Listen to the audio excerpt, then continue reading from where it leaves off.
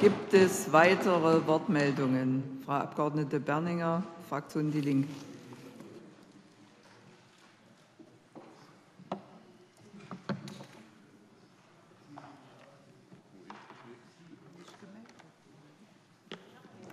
Sehr geehrte Frau Präsidentin, meine sehr geehrten Damen und Herren der Demokratischen Fraktion, Herr Grob! Ich habe schon mal so einen Wesenstest durchgeführt mit meinem Hund, Bella, die jetzt leider nicht mehr da ist.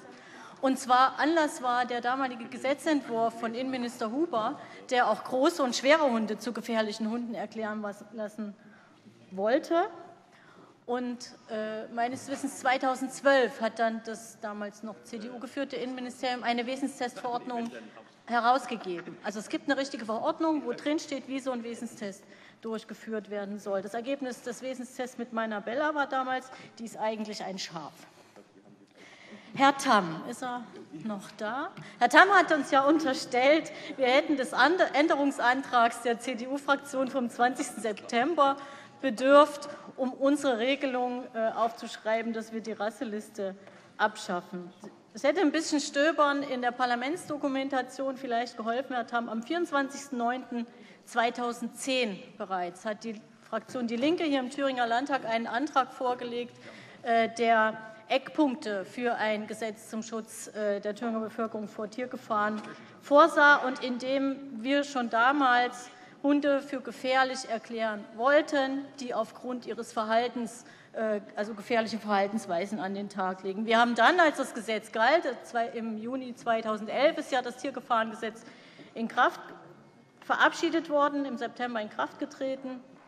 Am 6. August 2012, Herr Tamm, haben wir einen Gesetzentwurf zur Änderung des Thüringer Gesetzes zum Schutz der Bevölkerung vor Tiergefahren vorgelegt, in dem wir auch wieder die Gefährlichkeit von Hunden an ihrem Verhalten festmachen wollten. Also wir waren nicht auf Ihren Änderungsantrag angewiesen, um aufzuschreiben, wie wir das jetzige Gesetz verändern wollen. Meine Damen und Herren, was lange währt, wird endlich gut. Es ist jetzt fast acht Jahre her, dass dieser schlimme Vorfall in Oldisleben passiert ist, bei dem ein dreijähriges Mädchen von vier Hunden totgebissen wurde. Das hat ganz großes Erschrecken hervorgerufen und hat dann auch zu einer Debatte um die Gefahren, die von Hunden ausgehen können, geführt, die nicht immer von Objektivität geprägt war. Also es war sehr viel Angst, sehr viel Unkenntnis, sehr viel Entsetzen, was diese Debatte geprägt hat. Und zwar nicht nur in der politischen Landschaft, auch in den Medien, muss man sagen. Das hat zu einer Stimmung geführt, die dann eben quasi äh, dazu geführt hat, dass ein solches Gesetz äh, auf den Weg gebracht wurde, wie wir es jetzt seit 2011 hatten. Wir haben 2010 äh, und 2011 umfangreiche Anhörungsverfahren auch zu den vorliegenden Gesetzentwürfen durchgeführt. Damals hatte ja die CDU-Fraktion schon das von Minister Huber vorgelegte Gesetz nach der ersten Anhörung in einer veränderten Variante vorgelegt. Da gab es dann wieder eine Anhörung dazu, mündlich und schriftlich. Und schon damals, 2010 und 2011, waren sich nahezu alle Expertinnen und Experten einig, dass eine Halterkunde der bessere Weg ist, um Gefahren vorzubeugen, die von Hunden ausgehen können. Halterkunde statt Rasseliste ist seit mehreren Jahren der Slogan, den z. B. auch die Soka-Freunde Thüringen haben, weil die meinen, erst kennenlernen den Hund, dann urteilen. Und wenn man sich einen Hund hält, dann muss man den eben auch kundig äh, ausbilden und erziehen und halten. Im Frühjahr 2017 hat dann als Auftrag aus dem Koalitionsvertrag sozusagen die, das Innenministerium sich mit der Sache befasst, also nicht erst im Frühjahr 2017, aber das Ergebnis war dann im Frühjahr 2017 ein Gesetzentwurf der Landesregierung, der die Rasseliste zwar noch vorsah, allerdings die Gefährlichkeit per Wesenstest äh, zu widerlegen ermöglichen sollte. Ich habe in der Debatte damals schon, also im April, glaube ich, war das 2017, anhand unter anderem anhand der aktuellen äh, Beißstatistik nachgewiesen, dass statistische Zahlen nicht dazu führen, dass man zu der Erkenntnis kommt, vier bestimmte Hunderassen seien die per se besonders gefährlichen. Ich habe das damals ein bisschen überspitzt dargestellt. Ähm, der Schäferhund hatte in 2015 achtmal so oft leichte oder schwere Verletzungen hervorgerufen wie alle Hunde, 659 waren das 2015, der als gefährlich verrufenen Rassen.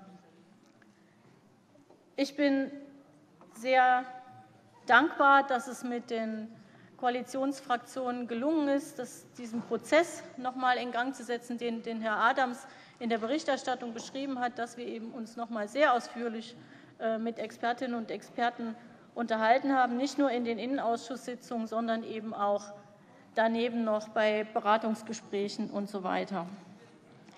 Das Ergebnis, was uns jetzt vorliegt, ist eine Beschlussempfehlung aus dem Ausschuss, die das Gesetz dergestalt ändern will, dass die Rasseliste endlich gestrichen wird und dass wir die Gefährlichkeit von Hunden anhand ihres Verhaltens äh, festmachen wollen.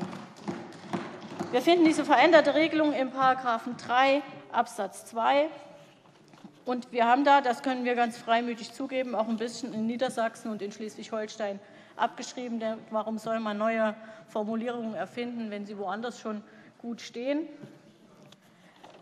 Und ich habe auch im Nachhinein nach diesem Entschluss äh, im Innenausschuss noch mit Leuten gesprochen. Ich spreche ja nicht nur mit Hundehalterinnen und Hundefreundinnen, sondern auch mit Menschen, die skeptisch gegenüber Hunden sind. Und natürlich wird dort die Sorge geäußert, dass man jetzt äh, warten muss, bis etwas passiert ist. Und wir haben das natürlich auch diskutiert in unseren äh, innenpolitischen Runden.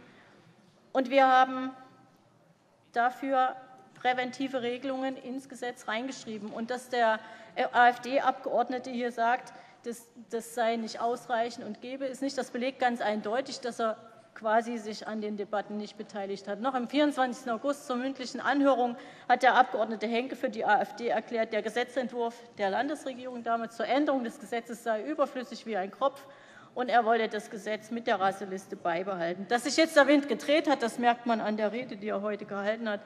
Aber inhaltlich war da nicht viel zu holen. Wir haben nun einen Mix. Eben der, die, Rasselist, äh, der, die Gefährlichkeit eines Hundes wird an seinem Verhalten festgemacht. Und wir haben natürlich auch vorbeugende Regelungen drin. Einmal im § 5 Absatz 4. Dort steht, dass die Behörde tätig werden kann, wenn Anhaltspunkte äh, vorliegen, dass die Haltung des Hundes geeignet ist, ihn gefährlich werden zu lassen. Da hat die Behörde die Möglichkeit, einen Sachkundenachweis anzuordnen. Darüber hinaus steht in § 8 Absatz 1, und das war in der Regelung des vorherigen, des jetzt geltenden Gesetzes auch schon ähnlich, äh, wenn es Anhaltspunkte für die Behörde gibt, dass ein Hund Verhaltensweisen an den Tag äh, legen, die dem Verdacht nahelegen, dass er gefährlich ist, dass die Behörde einen Wesenstest anordnen kann. Und die dritte Möglichkeit, die hat Dirk Adams gerade eben schon erwähnt, ist die in § 5 Absatz 5 äh, äh, formulierte Regelung, die es den Gemeinden ermöglicht, Hundehalterinnen, die einen Sachkundenachweis vorlegen, die Hundesteuer zu ermäßigen. Wir wissen, dass das eine Regelung ist, die die Gemeinden ganz freiwillig im Rahmen ihrer kommunalen Selbstverwaltung machen. Aber es ist einmal von, uns als Gesetzgeber, finde ich, ein gutes Zeichen, und ein Appell an die Verantwortung der Hundehalterinnen und Hundehalter und eben auch ein Zeichen an die Gemeinden, dass sie äh, in dieser Entscheidung frei sind und nicht äh, ein Rechnungshof kommen kann und sagen, er hätte die Hundesteuer aber nicht ermäßigen dürfen.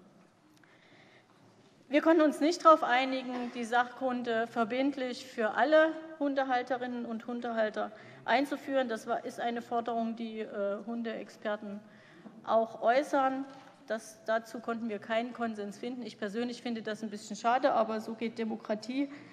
Ähm, aber dieser Mix, meine ich, aus den Maßnahmen äh, ist ein guter Mix von Reaktion und Prävention meines Erachtens. Meine Damen und Herren, ich möchte mich bei allen bedanken, die jetzt mittlerweile über sieben Jahre lang sich um dieses Gesetz bemüht haben, darum gestritten und gekämpft haben, dass eben diese wissenschaftlich unsinnige Rasseliste aus dem Gesetz rauskommt und man tatsächlich ähm, Regelungen einführt, die auch tatsächlich geeignet sind, den Sinn und Zweck dieses Gesetzes zu erfüllen, nämlich Gefahren, die von Hunden ausgehen können, vorzubeugen. Herzlichen Dank an die Anzuhörenden, an die Expertinnen und Experten, an die Kolleginnen und Kollegen der demokratischen Fraktionen, auch an die Kolleginnen der CDU, die ich als sachlich sehr, sehr bemüht äh, erlebt habe in den Debatten. Äh, letzte Woche hat äh, eine Hundetrainerin aus dem Eichsfeld geschrieben, diese Entscheidung jetzt sei der Beweis dafür, dass sich Kämpfen doch lohnt. Und ich finde, es ist ein ganz guter Beweis dafür, dass Demokratie funktioniert. Es ist nur so, dass man eben sehr, sehr viel Geduld haben muss. Ich freue mich sehr, dass wir jetzt endlich an diesem Schritt sind. Ich bitte Sie alle, der Beschlussempfehlung der Gesetzesänderung zuzustimmen. Danke schön für die Aufmerksamkeit.